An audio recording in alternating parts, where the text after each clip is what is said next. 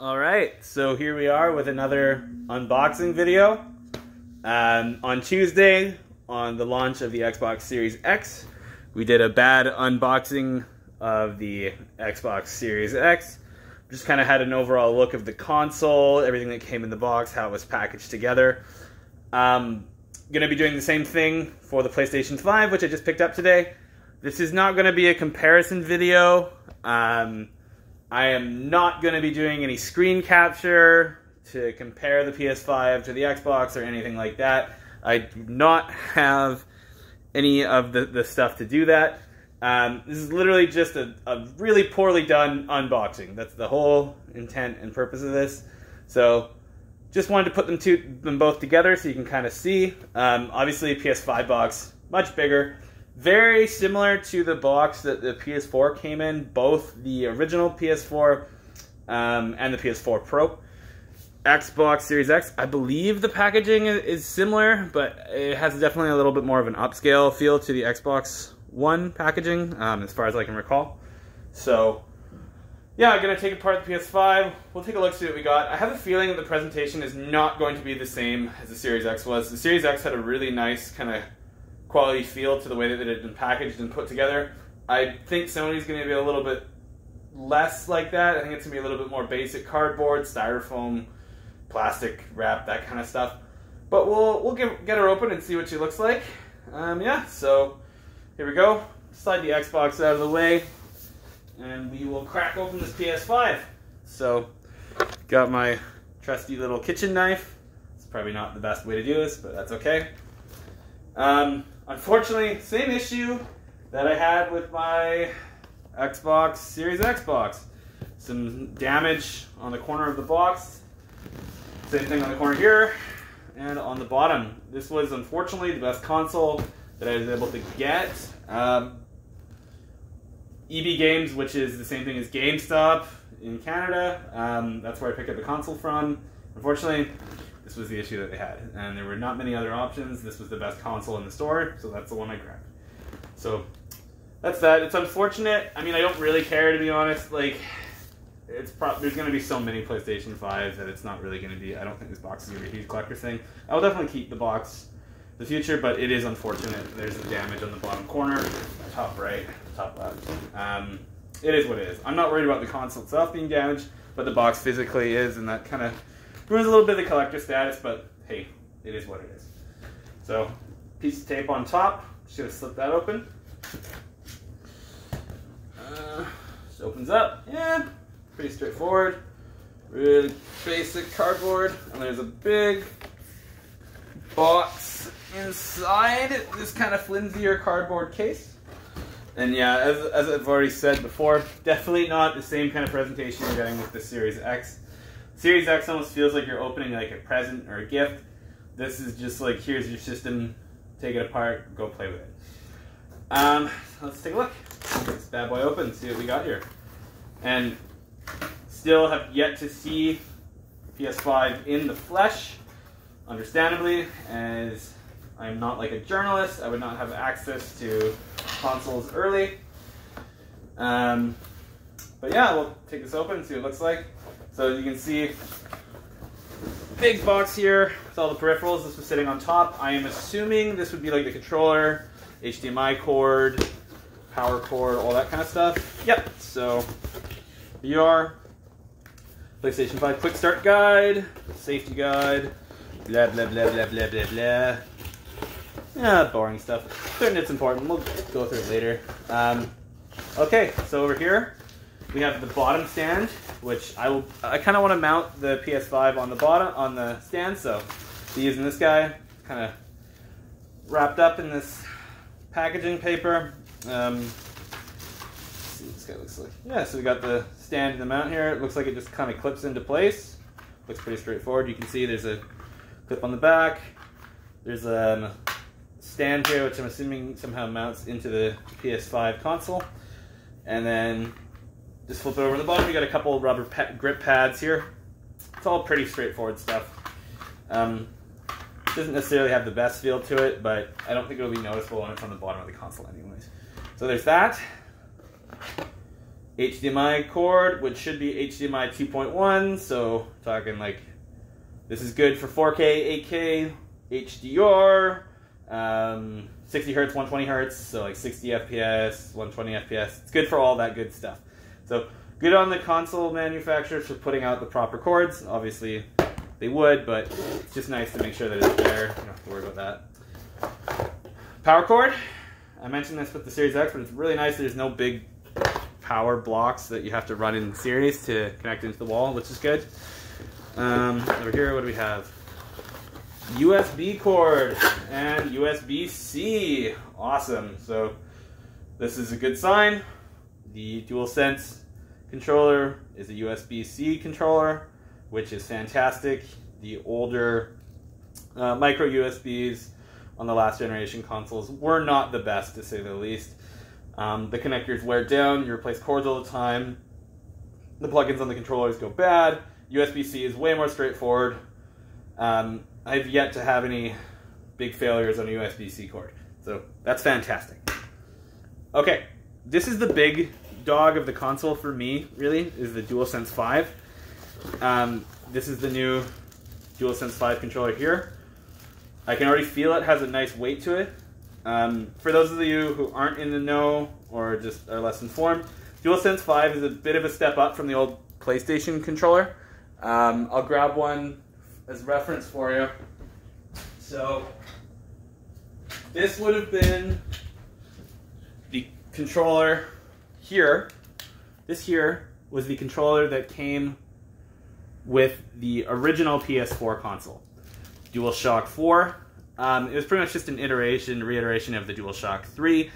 Obviously, the biggest thing was that the light bar in the back to um, kind of flash and blink depending on say what was going on in the game. You could change colors, say like go red if your health was low. It was mostly just um, to interface with the PlayStation camera as a light, so it could kind of track and follow it like the PlayStation Moves had.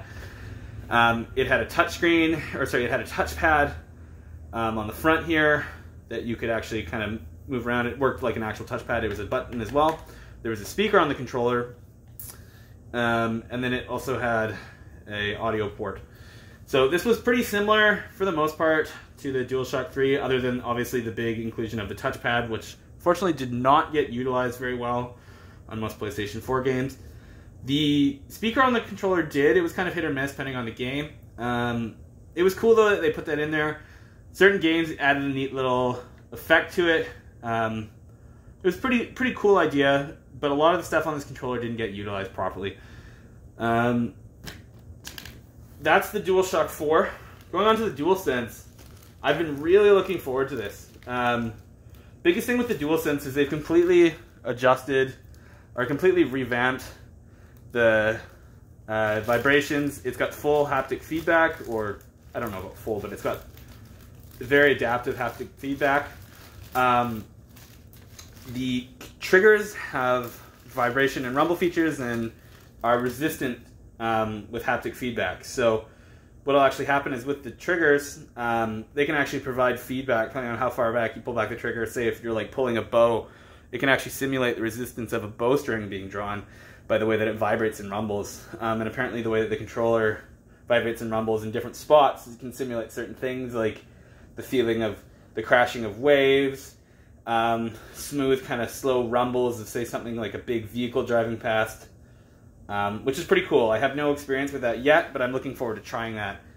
Um, what I can see on here is, looks like there's no light bar. From what I understand, I believe that the light bar is, yeah, it looks like they removed the light bar. As far as I can recall, I believe the light bar is actually in part with the touchpad now. Um, but I'm not 100% certain on that. That's I'm learning this out as I play it, as I fiddle with this myself. Um, overall, the weight is a lot nicer than the, the DualShock. Um, it's got a good bit of weight to it, and I'm assuming that's due to all the extra little motors and stuff they had to put in for the haptic feedback. Um, the shape is really nice. It feels very er ergonomic. Um, ergonomic, sorry, ergonomic. Um, the controller itself, it's got a nice texture to it. The front has a little bit of a matte finish. Um, I don't know how well that's going to hold up to grease and all that kind of stuff, but I mean, there's a reason why you can clean it. Um, the triggers are shaped a little bit differently, but still quite similar. Um, they've got a nice kind of solid kind of feel to them and, and weight. The buttons feel a little bit clickier than they did previously. I wouldn't say that it's like a keyboard, um, like a mechanical keyboard with that kind of click, but it's got a nice feel to it for sure. Um, the triggers, or sorry, the, the analog sticks, the the joypad, or sorry, the so the yeah the analog sticks or the joysticks. Um, there's a nice texture. It's hard to see, but on the actual uh, rubber itself, it's nicely texturized. Um, and I believe that the actual surface area is a little bit bigger, gives you a little bit more room for control on the thumb. Um, the DualShock 4 did not have a good track record with this rubber wearing down. They wouldn't last very long before you'd actually start getting straight to the plastic. I'm hoping this is going to be more durable. Um, you can always buy those joystick covers, but I really don't like those things. They feel cheap. They don't feel like they're actually supposed to be on the controller in the first place. Overall, first impressions though with the controller, um, really nice. Like it's got a lot of the same stuff that the DualShock 4 had. It's got the USB port on the bottom, or something the USB, the 3.5 millimeter audio jack. So you can plug your headphones in. Um, looks like it has a mute button right there, which is pretty cool. I believe that there is actually a mic built into the controller now, so if, even if you don't have a headset, um, you can still talk to your friends in a party, which is pretty cool. It's neat that they did that. Um, yeah, overall, it, it's definitely got more of a weight to it. It feels better to grip in the hand. It's got a nice solid feel to it. The buttons feel a little bit more clicky, a little bit more solid. The real big thing will be testing out the haptic feedback, um, and I'll be looking forward to trying out a couple different games with that and seeing how that really feels. I'm really looking forward to the trigger resistance. apparently, from what I've heard, the newest Call of Duty Cold War, um, they've been working really hard with the DualSense controller to actually give a different feel to each gun with the resistance that it provides and the vibration and the haptic feedback that you get from the recoil. Um, so I'm really looking forward to that. I'm hoping that with games like with a bow that it does a good job of actually simulating the pulling of a drawstring and the resistance that's provided. But yeah, I'm I'm pretty excited to try this guy out. I definitely know it's going to need to be charged up a little bit before I can do that and before I actually get the console set up. But that is kind of a quick overview of the DualSense controller. Definitely looking forward to trying this guy out. Um, and I'll provide some more feedback on that after I actually get a chance. But overall initial impressions, it's got a nice weight to it. It feels more solid than the DualShock 4 did. Um, the texture on the back is nice. It's got kind of a nice kind of almost more of a gritty texture around the back of the handles. Um, I'm looking forward to really trying this out. I was a little bit disappointed with the Series X and how the controller was essentially the same thing as the previous Xbox One controller, other than the addition of the share button. Um, this is a bit of a big step up from the the DualShock, so I look forward to trying this out and kind of getting that true next gen experience. At least to me, anyways, one of the biggest things about getting a next gen console was always the feeling of trying out a brand new controller, um, and I get to do that with this. So I'm looking forward to that. I'll provide some more updates on that later. For now, kind of gone over all the peripherals and stuff that came with the console. I'm going to put the stuff off to the side, and we are going to check out the big boy itself, the disc version PlayStation 5. So, as I had mentioned before, I was not expecting the same kind of presentation that Microsoft provided me if you had watched my previously bad unboxing video on the Xbox Series X. And again, I was not wrong. See that? Definitely doesn't look the same kind of way that the Xbox was nicely presented and kind of gift wrapped. It's just, here's some cardboard, here's some wrap, your console's in there. Pull it out and play with it. And that's kind of the point. And I get it, I understand. Um, I definitely like the visual flair that Sony, or sorry, that Microsoft has provided. But at the end of the day, the, the, the main point of the console is to play video games on the console. It's not about how nice the box looks. Um, but from a collector standpoint, it's definitely nice to have that little bit of extra kind of flair to it. It almost gives it like a higher higher end upscale feeling like an Apple product, say like getting a new um, iPhone or Apple Watch or something like that. So that's pretty cool that Microsoft did that. Sony, it is what it is. Um, but again, this isn't really about the packaging, it's about the console. So we're gonna pull this bad boy out. It's definitely wedged in there in a funny way. I'm just gonna pull it straight out. You can see.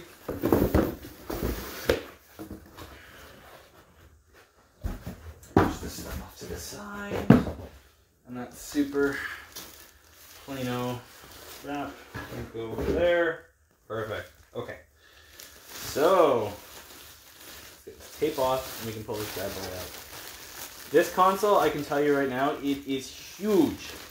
It is much bigger than any of the other consoles that I own, and I practically, I have every modern console, and this is bigger than all of them. This is bigger than my Series X, this is bigger than my Xbox One X, this is bigger than my PS4 Pro, it's bigger than my original PlayStation 4. It is a big boy.